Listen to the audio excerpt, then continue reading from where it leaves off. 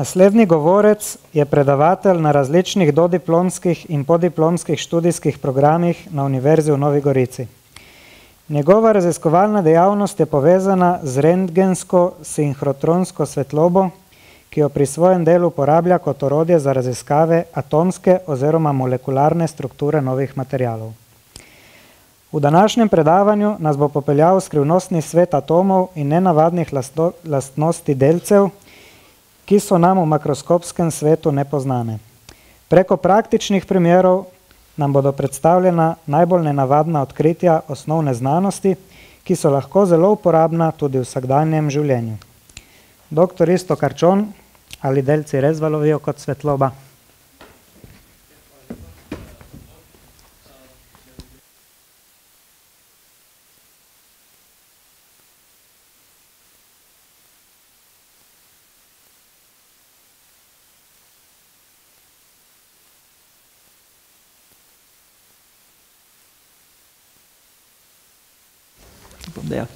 Skratka, me veseli, da imam danes možnost predstaviti uh, to predavanje.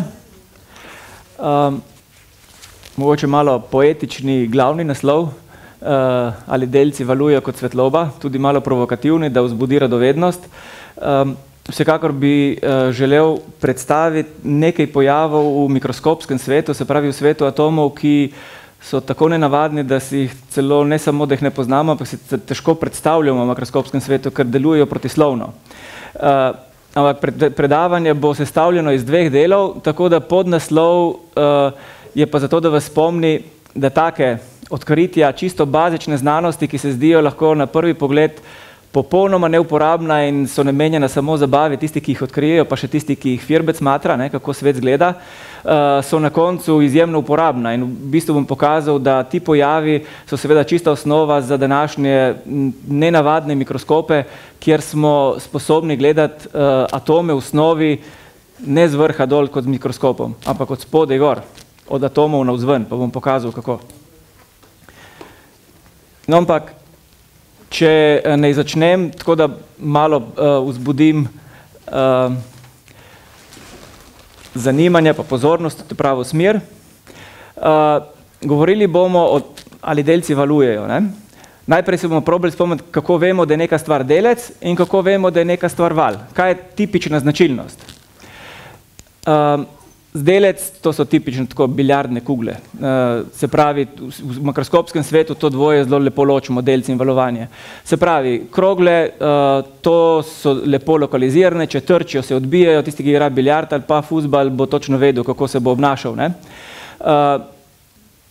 Se pravi, delcu tudi pripišemo uh, vedno v vsakem trenutku v makroskopskem svetu trajektorijo, pomeni, če igrate biljard, če, ga, če žogco udarite v pravi smeri, točno vidite, po kateri trajektoriji bo šla in če ste dobri, bo šla v luknjo, če ne, pa ne. ne?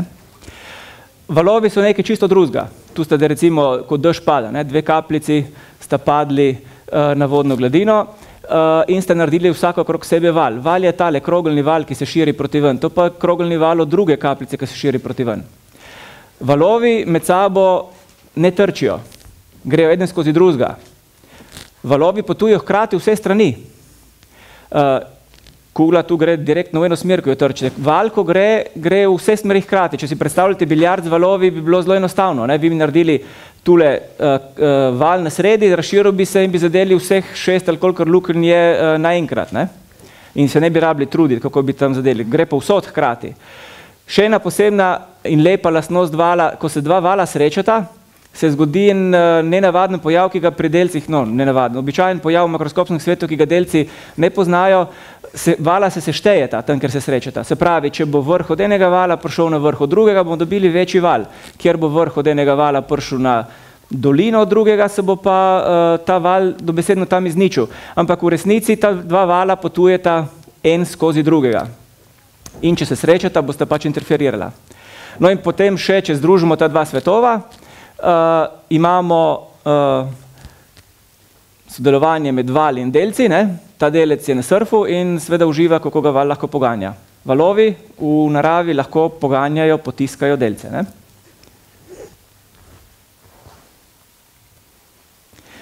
No in zdaj, ko bomo obravnavali naprej uh, valovanje pri mikroskopskih delcih pa pri svetlobi. Uh, poglejmo, kje značilnost še dodatno uh, pove, da je neka zadeva valovanje.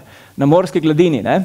če valovi prihajajo in letijo na oviro, potem, ko pridejo skozi oviro in če je ta odprtina relativno oska v primerjavi z razmiki med valovi, z valovno dolžino, potem se bo svetloba, hm, pardon, val, valovanje uklonilo. So, torej, ne bo šel val samo direktno sem, ampak tudi v področje sence. Tule je še to schematsko prikazano.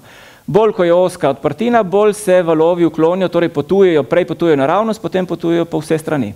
Tu je še ta eksperiment, eh, čisto tako šolski primer, ravni valovi in potem ukrivljeni. Ne? Eh, če takoj povežem svetlobo, zato verjetno veste, da je valovanje, elektromagnetno valovanje, prej, prej prejšnjem predavanju smo to že spremljali. Če svetlobo spustimo skozi osko režo, uh, bomo videli, da se ukloni. Torej ne dobimo svetlobe samo v smeri naprej, ampak dobimo razširjeno svetlobo in to je približno ena senca, ki jo potem vidimo. Ne?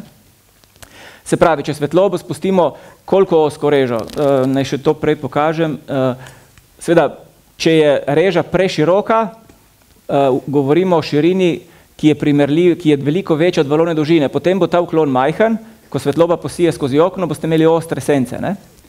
Bolj ko je pa reža oska, bolj ko se bližate širi, valovni dolžini, uh, bolj je ta uklon izrazit.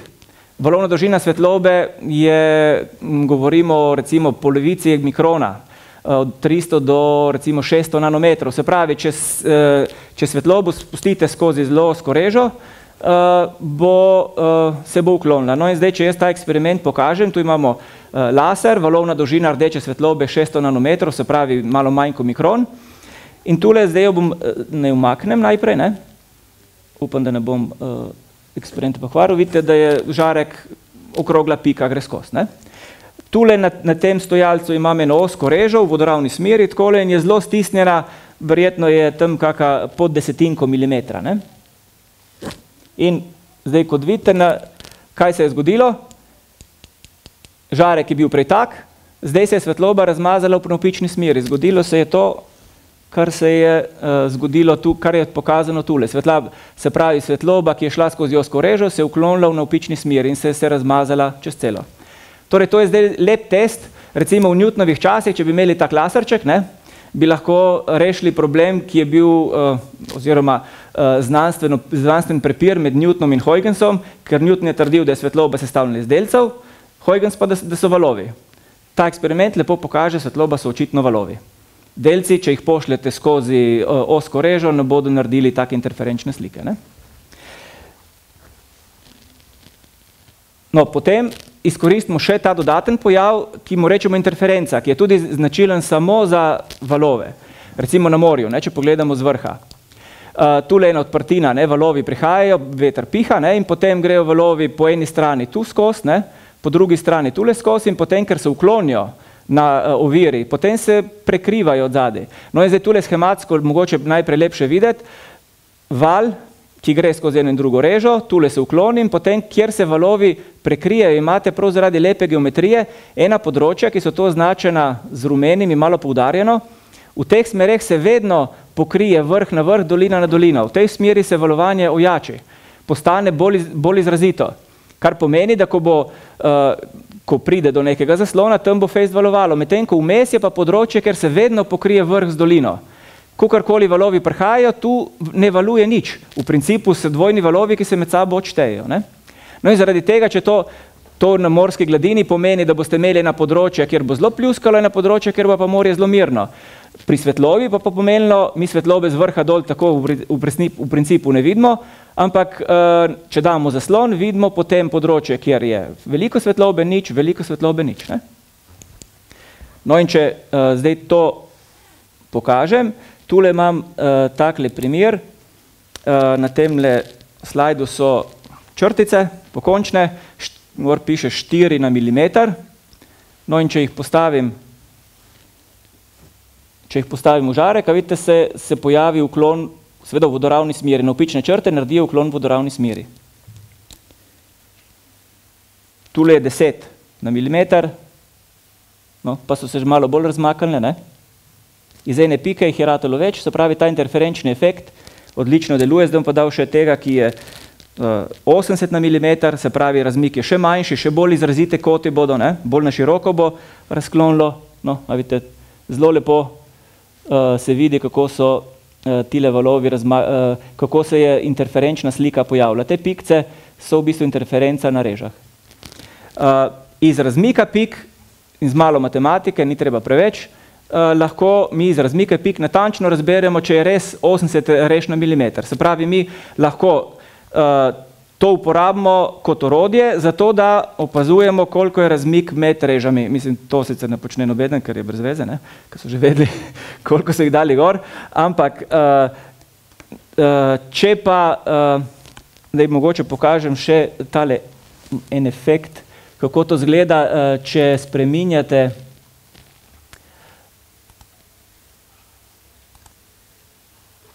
razmik med režami, A vidite, to se dogaja, če so uh, face narazen, je veliko uklonov. Bolj, ko so blizu skupaj, potem se ostane na sredini uh, samo še ta srednji maksimum, tile stranski zginejo. Ne? Če opazujete, vidite, zdaj jih je veliko ojačitev, to, kar je bolj svetlo so ojačitve. Ne? Ko prije pa čisto skupaj, vidite pa samo srednjega.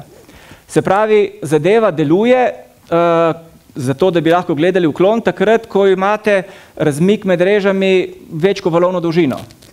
Uh, no, ampak zdaj, uh, če pomislite, uh, to orodje je lahko že prvi krasen mikroskop, kjer izkoriščamo valovanje. Ne? Mi lahko opazujemo stvari, ki so zelo blizu skupaj. Atomi v kristalu so taka zadeva, ki je blizu skupaj. Če poženem to nazaj.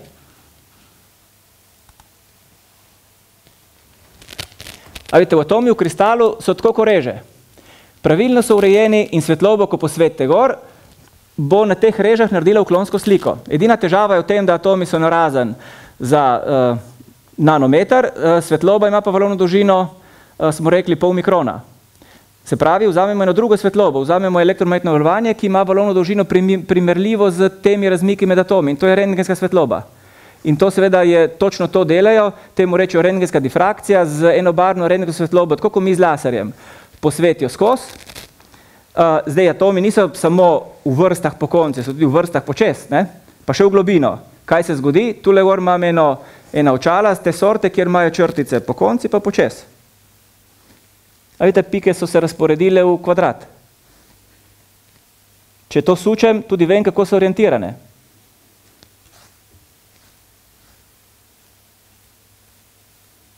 Kar pomeni, Tak eksperiment z vidno svetlobo na, na teh režah je identično temu, kar počnejo z rengensko svetlobo na kristalu. Iz teh razpored pik, ki jih dobijo potem na filmu, ne, ker te svetlobe ne vidimo, lahko rekonstruirajo točno razpored atomov. Ta rengenska difrakcija je en od prvih mikroskopov in tudi učinkovito uporabljen. Uh, znajo delati tudi to, da uh, recimo proteine, ne, To je zdaj z sodobnimi sinhrotroni, uh, se da tudi tak eksperiment narediti. Proteine kristalizirajo, te ogromne žoge s po nekaj tisoč atomi spravijo v pravilna red, ko nogometne žoge, da bi zložili v eno mrežo, naredijo uklonsko sliko in iz te uklonske slike, ki je zdaj zelo komplicirana in seveda rabite izjemno močan vir, navadne rengen ponavadi ni dovolj, morate na sinhrotronu to narediti, dobite zelo veliko podatkov in ne samo o tem, kako so žoge razporejene, ampak kako so atomi znotraj žog razporejeni. Tako v bistvu razšraufajo lahko cel protein popolnoma.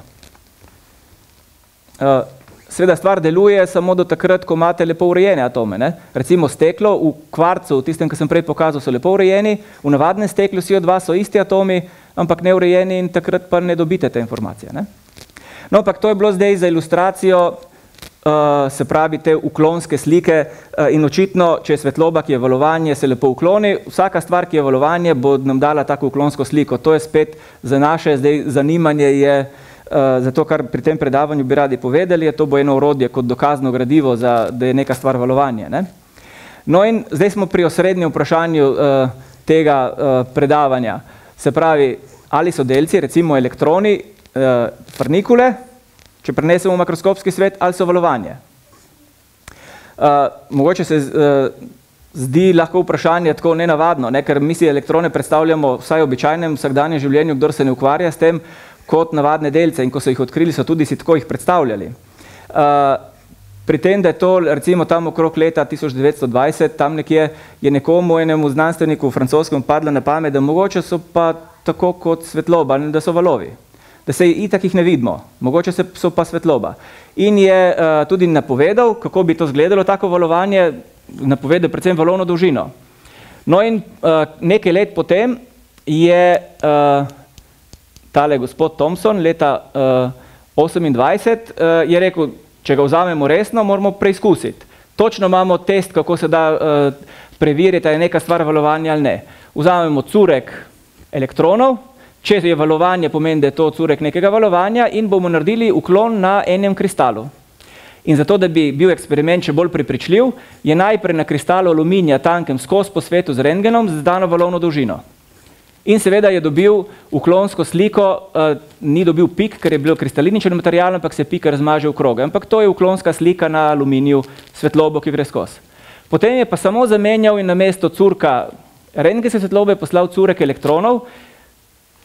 Ta fizik De Broglie je napovedal uh, pred njim, da je valovna dolžina elektrona sorazmerna z njegovo hitrostjo pa maso in potem je zračunal in naštimil isto valovno dolžino, uh, ki naj bi jo imeli ti elektroni in je pogledal, kaj bo dobil na zaslonu. Zdaj, če se letijo kuglice, potem se v kristalu zaletavajo bolj ali manj v tiste atome in bi enakomerno osvetlili zaslon. Njegov eksperiment je pokazal pa točno enako sliko kot za rengensko svetlobo. Elektroni so bili točno v teh krogih, obročih, samo na nekaterih mestih, interferenčna slika, drugje jih ni bilo, nobenega. Ne? In celo to valovno dolžino, ki jo je De Broglie napovedal, je točno napovedala, kakšni bodo obroči. Se pravi, nedvomen dokaz, da, da so elektroni so valovanje, niso delci.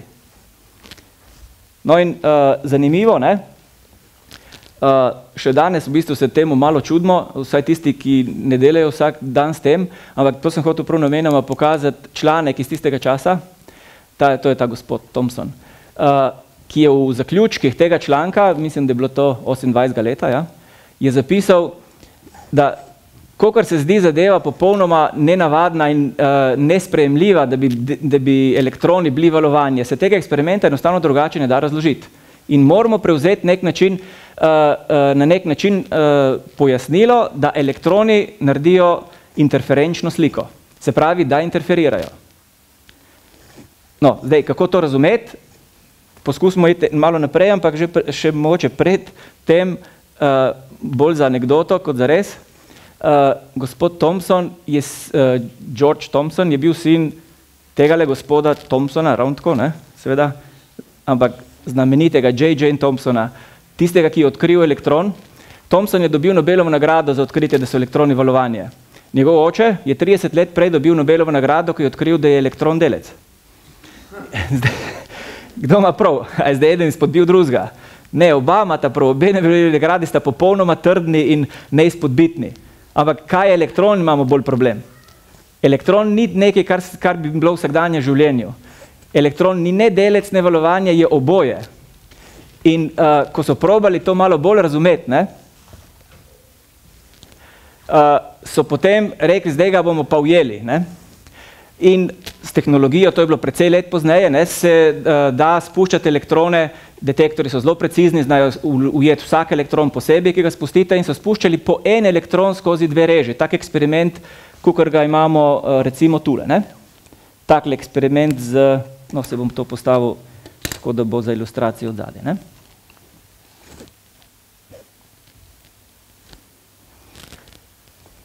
Se pravi, če gre valovanje skozi, potem, bo, potem bomo dobili interferenčno sliko, svetloba bo šla točno v določena mesta, vmes je pa ne bo. Zakaj se to zgodi? Zato, ker smo rekli, valovi grejo tule, se uklonijo, tule se uklonijo, en čez drugega interferirajo in potem se bo to zgodilo. In potem so rekli, dobro, mogoče pa elektroni, ko potujejo v množici skozi en drugega motijo, pa nekako naredijo to sliko, spustili so po enega, eden po eden. Eksperiment je tekel tako, da so vsakega tudi ulovili. Se še ni zgodilo, da bi ulovili pol elektrona in se tudi ne more.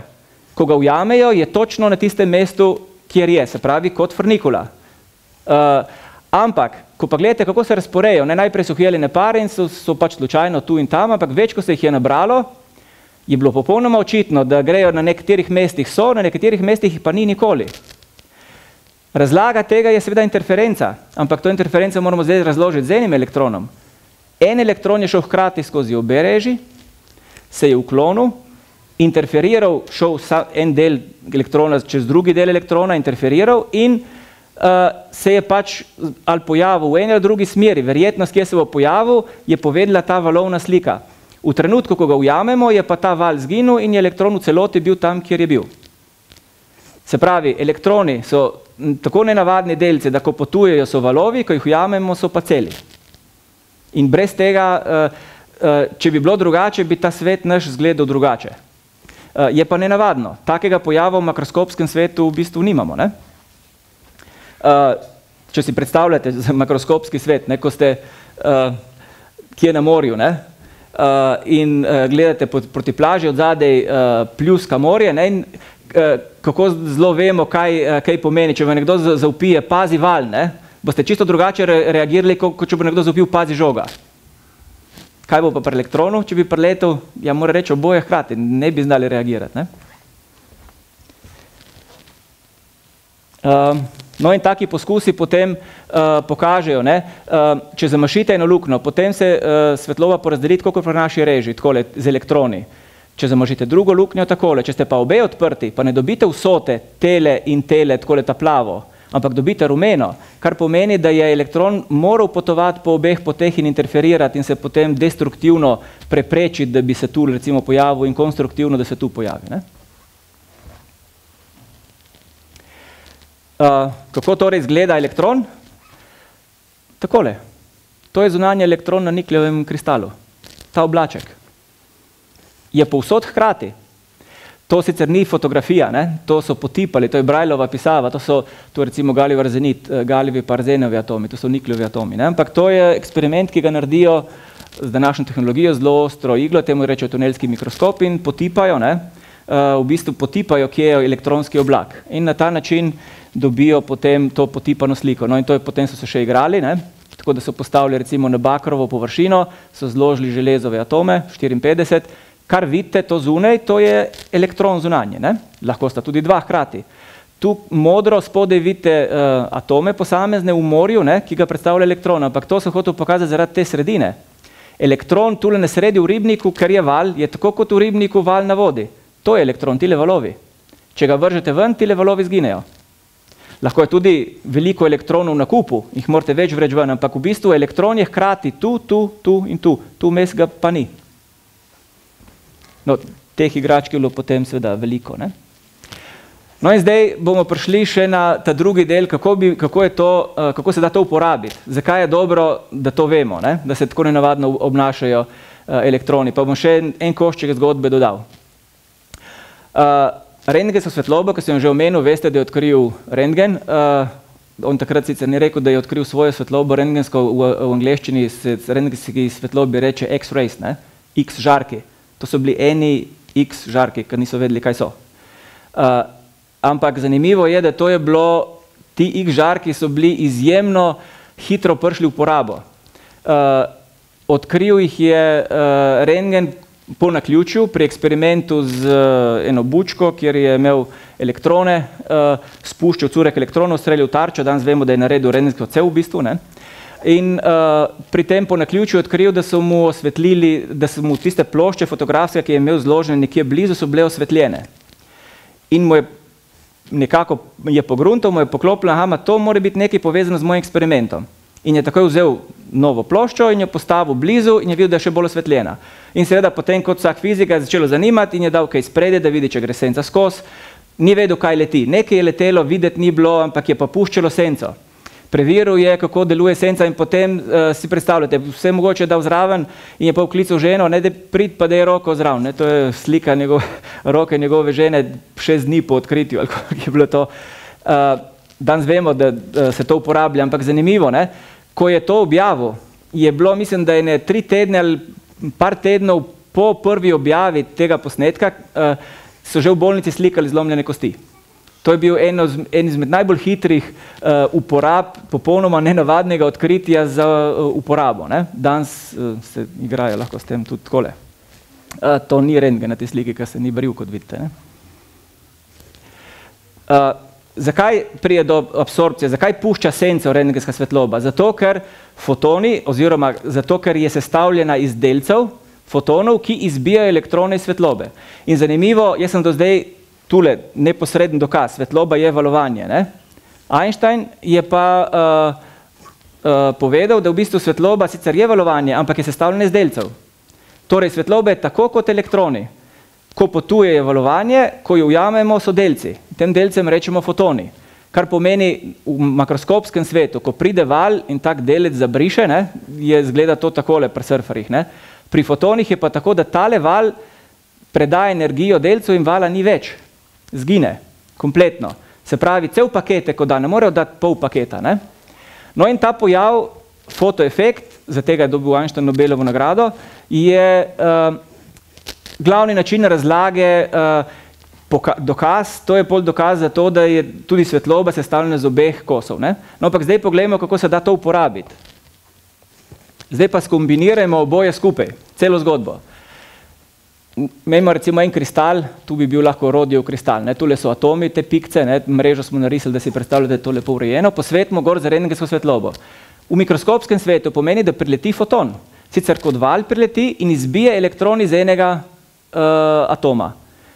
Se pravi, prileti kot val, izbije kot delec, cel. Ne?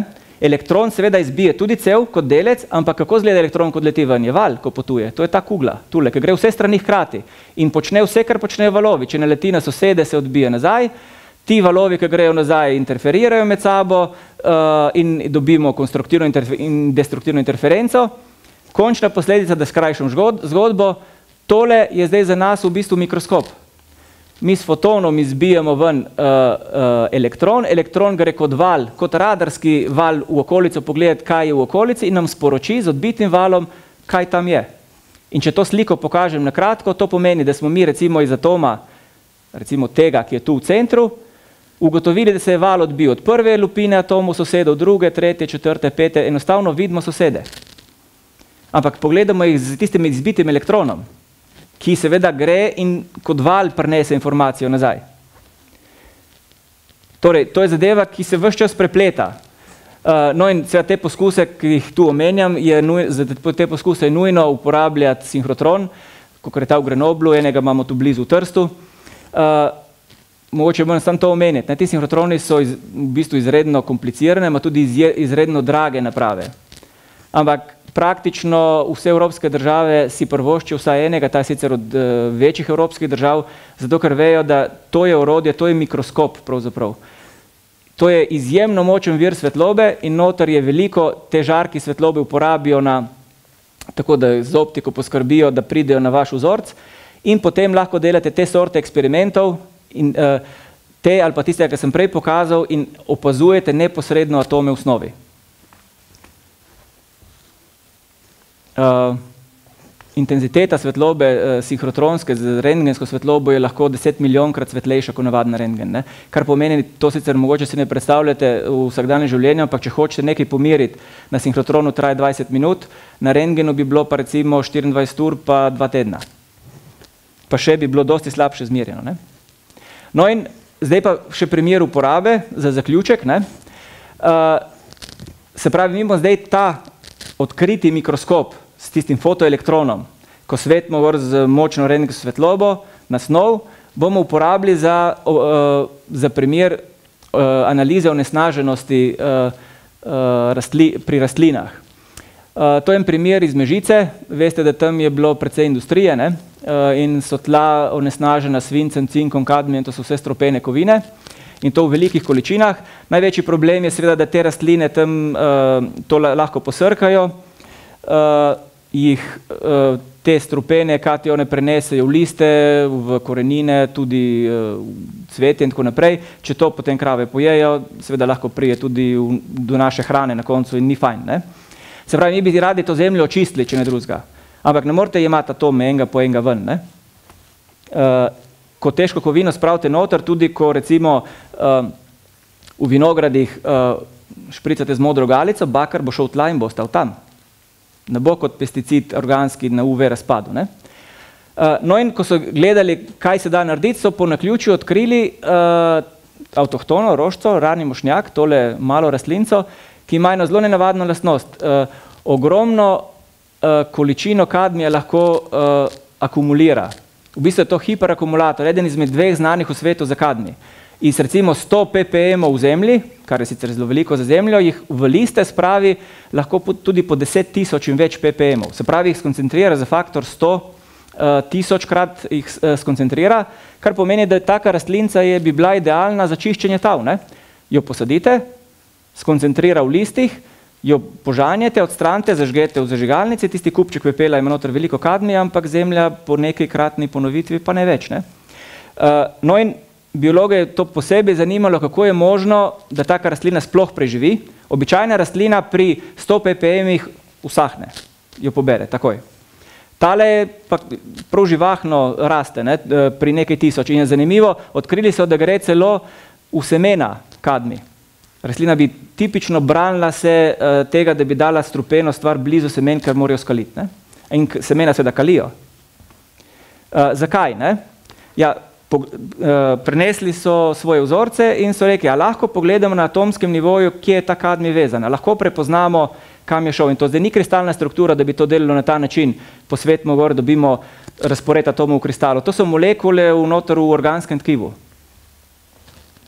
in zato smo pol uporabili. Ne? Recimo vprašanja, ki so jih postavili, uh, kako se zaščitijo pred strupenimi efekti teh kovin, ne? Uh, v katere dele celic grejo, uh, kako se vežejo in potem iz tega, kakšni so mehanizmi obrambe. Ne? Eksperiment je zgledal takole, uh, ekipa biologov, to je kolegica iz biotehniške, pa kolegi, ki smo bili tam, tile so iz Belgije, ki so tudi rastlince vzgajali. Vzorce smo nesli tja, tako da smo recimo liste stisnili v tako tabletko, da smo lahko svetli skozi semena, ki jih je bilo zelo malo, smo spravili tu notor v tole zarezo, da smo z žarkom posvetli skozi vsa semena, ne? postavili v žarek, ki je sinhrotronski, ki je v svetu takole skozi. In to je bil zdaj naš mikroskop. Ne? No, to smo naredili pravzaprav tudi eh, več eksperimentov, enega v Hamburgu, enega na Eletri, eh, skratka, par let zapored smo se s tem uh, matrali. No in ta mikroskop, ki ga zdaj ste videli, kako deluje, posvetimo gor in potem fotoelektron nam pove, kaj je v okolici kadmija, ne? se izkaže, da v okolici kadmija smo lepo našli, ne? da je vezan uh, kadmi na kisik, en del kadmija je bil na žveplo, uh, pri, uh, potem smo pa našli v drugi lupini sosedov, smo našli oglik in uh, celo fosfor do sem vidi, to je mikroskop, ki ne vidi zelo daleč, nekaj plasti sosedov, pol fotoelektron ne gre dlje. Zdaj, katera molekula je to, znamo to ugotoviti, ne? recimo v fiziki smo to ugotovili, bili veseli, zapisali smo podatke, povedali biologom in so rekli, ja, seveda, vse je jasno, kaj je, ne? mislim, meni ni bilo jasno prav nič. Uh, v rastlini, uh, v, v listih zanimivo je bila drugačna vezava. Uh, uh, žveplo, uh, in kisik še vedno v drugem razmerju, ampak nobenega fosforja, samo, uh, samo oglik. Se pravi, to je očitno kemijsko vezan bil na drugo molekulo, ki nima fosforja. Ne? No, ampak pol so seveda biologi uh, hitro pojasnili, so rekli fosfor, seveda, ne se vemo, na kaj bi se lahko vezal. V uh, uh, semenih je zelo veliko energije shranjeno v fitatih, to so takele uh, molekule, ki imajo v teh skupinah shranjeno energijo, ki jo rastlina porabi. Tule gor se je vezal, preko kisika na fosfor in zato smo videli kisik in fosfor v, v sosednji lupini. Kam bi lahko šel pa na žveplo, to je pa ta druga uh, molekula, ki je pa zaščitna molekula v rastlinah, uh, to je tak fitohelatin, uh, ima take periodične, temu reče glutatione, ampak veže se tule na žveplo, iz rine vodik se veže sem in dobimo CD, žveplo, oglik. Oglik je seveda iz glutationa. To je znano, da ta dva zelo močno vežeta uh, uh, tudi trdno vežeta um, uh, kadmi. V semenih fosforja ni bilo in potem uh, se je izkazalo, da je možen kandidat pardon, v uh, listih. Ne? Možen kandidat so takele cistein, ki ga je zelo veliko v listih, ali pa recimo acetatne ali pa takele skupine, kjer je vezan preko kisika na oglik, na takole verigo ali pa na takole verigo. Ne? To je pa šipkejša vezava. Uh, se pravi, iz tega smo lahko rekonstruirali zgodbo, ne, da rastlina uh, v koreninah in pogajankih veže manj močno, bolj na, na take uh, uh, skupine, kjer niso tako trdno vezane, uh, veliko bolj trdno jih veže pa v semenih, močno jih mobilizira. Ampak potem nas je pa še zanimalo na mikroskopskem nivoju, znotraj celice, kam pa to spravi. Ne? No in uh, potem zdaj lahko izkoriste še eno kombinacijo svetlobe. posvetite z rengensko svetlobo, ampak jo najprej uporabite kot svetlobo, spravi kot navaden mikroskop. Se pravi, svetlobo rengensko, ki sicer letijo fotoni, fokusirate, tako kot z, uh, fokusirate z lečo, tu je ena posebna rengenska leča, na velikost mikron krat mikron. Posvetite na, na žarek in potem premikate po tem žarku, uh, svetite gor in dol po celici. Ne? In kaj se vidi? Recimo, to je rastlina, listek, tako je prerezan. In v prerezu ne, smo posvetili, uh, smo skenirali z tem rentgenskim mikroskopom del, ki je bil v epidermisu, na zunanjem delu, in en del noter. Tu že vidite celice. Se pravi, tu zdaj rentgensko svetlobo najprej uporabimo kot mikroskop in ugotovimo iz odziva, ko se svetloba, uh, ko se svetloba uh, izseva, se pravi, ko vzbujamo atome, lahko ločimo Eh, kateri atomi se oglasijo. Rentgenska svetloba vzbudi kadmi, tule vidite celice z vidno pod navadnim mikroskopom. Tule pa vidite samo, kako je se zasvetil kadmi, ko smo ga osvetlili. In tale del se vidi, da v celicah v steni je rastlina nabasala ves kadmi znotraj celice, ker te celice uh, so prazne, nimajo živega dela, ker so uh, v tem kožnem delu. Ne? V notranjosti kjer pa poteka fotosinteza, bi pa ta kadmi uničil celico, bi uh, preprečil razvoj celice. Tu, v teh celicah je pa vse kadmi to zeleno, je pa samo v steni celic. Celica noter nima popolnoma nobenega kadmija. Kadmi je tako stropen, da bi celico prekinil. In hkrati smo lahko za to isto mikroskopijo, ki sem jo ravno kar razložil, recimo pogledali na mesto, kako je kadmi vezan in smo potrdili vezan na žveplo pa na kisik in v kakšnem razmerju, kjer delu. In se je izkazalo, tule, ko ne, ni treba veliko paziti, je vezan bolj na kisik, ki je šipkejša vezava, ni treba toliko energije porabiti rastlini. V teh delih, je treba zelo paziti, da kadmi ne bi niti en atom ušel noter, da bi celico uničil, je povezan na žveplo, zato ker je trdno potrjen. Skratka, s tem bom zaključil uh, kot povzetek na koncu. Ne, uh, bistveno je to, da uh, razumemo svet na, te, na atomskem nivoju, da razumemo ozadje, čeprav se zdi včasih to zelo akademsko, zato ker se preko tega da uh, dobiti zelo uporabne metode in uporabne znanja. Včasih po večjih letih, potem ko odkrijejo osnovno lastnost, uh, najdejo potem uh, tudi uporabo za to. Ne? No in tudi jaz sem, tako kot prejšnji, uh, kot moja predhodnica, zahvalil seveda za tiste, ki so nam omogočili te raziskave delati. Uh, to so uh, evropska sredstva, potem uh, do, vedno smo uspeli dobiti brezplačen merilni čas na sinhrotronih v Hamburgu, v Grenoblu, uh, v Trstu. Uh, no in to je pa naštetih nekaj skupin, s kateri, kjer sodelujemo skupaj, se pravi inštitucij oziroma skupina raziskovalcev, ki pri tem dela. Hvala lepa, to je bilo to.